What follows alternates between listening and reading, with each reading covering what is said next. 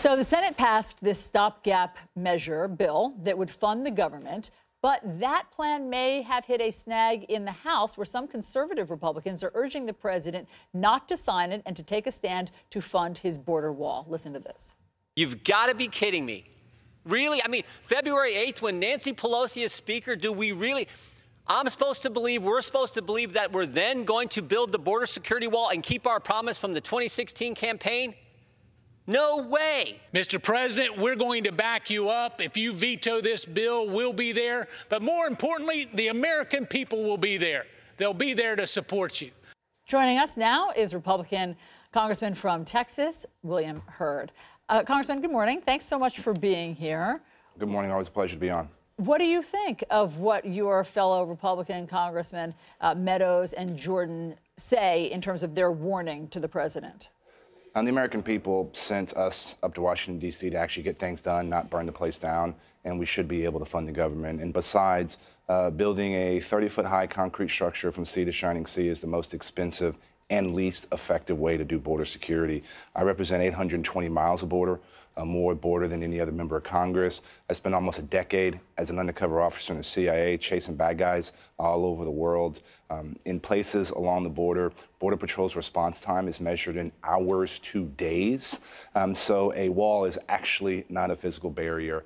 Um, we, if we want to address root causes of illegal immigration, we should be doing and working on those root causes in the Northern Triangle, like Honduras, El Salvador, and Guatemala. We should be talking about how do we plus up the State Department budget and USAID budget. How do we work with Mexico, who just announced $30 billion on doing on working on economic opportunities in Central America? These are the things that are going to address root causes of mass uh, migration. It is 2018, almost 2019. We don't have operational control of the border. We should be using more technology. That's why I like to see in these this funding um, of the government, specifically Department of Homeland Security, uh, that we're increasing the funding for technology so that we can determine the difference between a bunny rabbit and a person use drones. Uh, we're not using the latest and greatest technology along the border. That's going to go to help our border security um, personnel, and it's going to make sure that we're safe. Listen, your solutions sound a lot more complicated than build a wall. I mean, as you know, I mean, you know, that's just, you're talking about something much more comprehensive. Well, um, and that's not what the president promised on the campaign trail to his well, voters. Uh, one of the things, actually, with you, I call it the smart wall. You, by using technology and, and, manpower, you can do it for a fraction of the cost. Uh, you can do it under $1 billion, um, and you can do it within a year.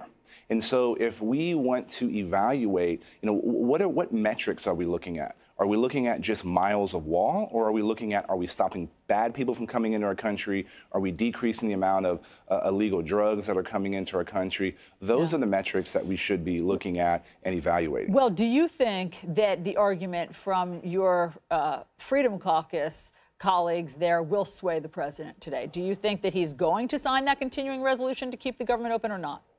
I, I, think ultimately this gets signed and, and we get done. Let's not make this problem worse. Our men and women in Border Patrol are already have a difficult job. There's t- there are 2,000 people down. There's 2,000 positions within Border Patrol that haven't been filled. They're dealing with the aftermath of the caravan and all that. And then we're going to introduce even more complexity into this by questioning whether or not they're going to get their salaries around Christmas and New Year's. Uh, that, that makes no sense. I think ultimately um, we, we get this done, and then we come back in the new year and continue to have um, these debates about yeah. how we should be spending the government well, and where the, where the hard-earned taxpayer dollars should be going. Well, therein lies the rub. Nancy Pelosi will be the Speaker presumably of the House in January, and so I, I heard that. Yeah, heard yes. That so if we and so for all intents and purposes, is the president's border wall dead?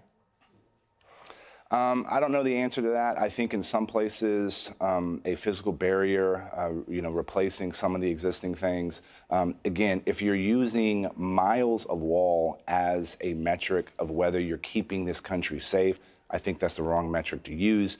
If you're talking about keeping uh, bad people and bad things out of this country, then we can be we can be successful. Okay, next question. I know that you're very interested in this tent city sure. that is in your district in uh, Tornillo. 2,700 migrant children are being kept in this tent city. You want President Trump to close it. Why?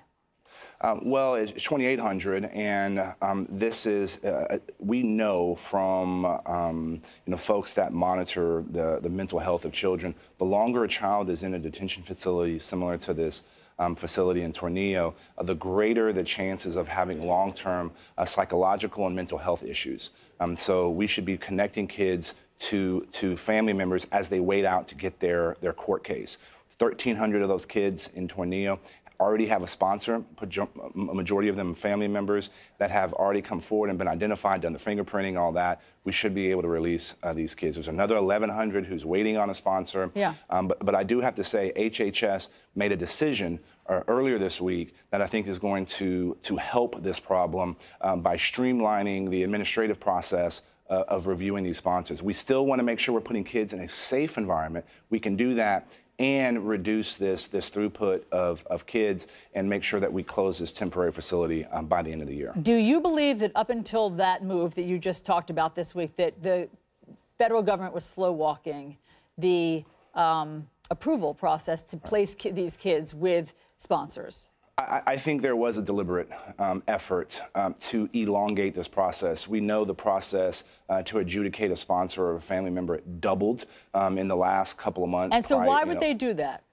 I, I think they were thinking of this could be a potentially a deterrent from people coming here, just like you know separating children from their you know their mother's arms. Um, they, they thought that that was a potential deterrent. If you're if you're messing with children as your strategy uh, for border security, then you need to go back to the to the drawing boards. Um, but new leadership at HHS ORR, that's the Office of Refugee Resettlement which is managing these children, who understands uh, child psychology, and they're making tough decisions um, that's better, one, for our country, and is in line with our values. I want to ask you about the president's big decision that he announced yep. about Syria. He I know what you're going to ask. It's terrible by the way. It, it is terrible. This is on Syria. Um, our, our, our, allies weren't notified. Uh, senior leaders in our government and the military and the intelligence community wasn't notified.